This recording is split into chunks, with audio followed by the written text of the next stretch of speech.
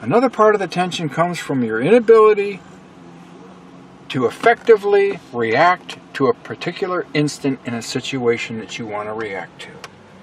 Your finger can't keep up with your brain. Why is that?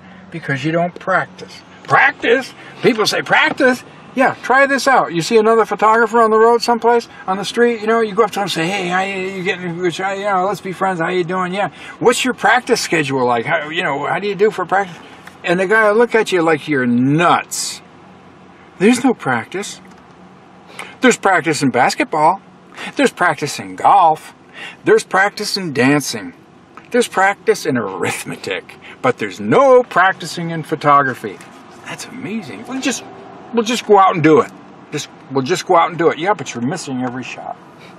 Your brain tells you to push the button, and you're way off. You're still focusing. You still haven't figured out the framing, and you don't even know how to operate the camera.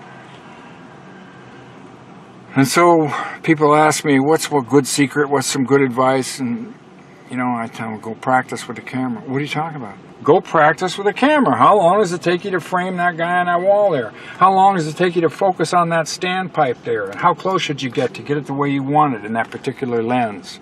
Get familiar with the camera. And when you do that, it's going to do two things. You're going to be able to nail the subject when your brain wants it, and you're going to be relieving a lot of tension of guilt and insecurity that the camera is laying on you. The camera is the boss. Oh yeah, you don't know how to operate me. You better push this button. You better use this.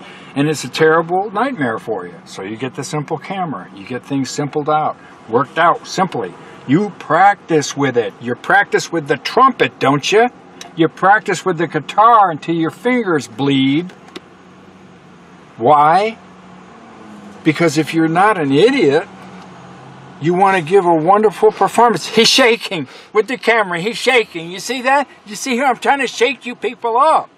What do you mean, no practicing? Oh, well, I'm so good. I'll just go out. I don't want to influence my body. I did. No, no, no. No, come on. You want to have fun with photography?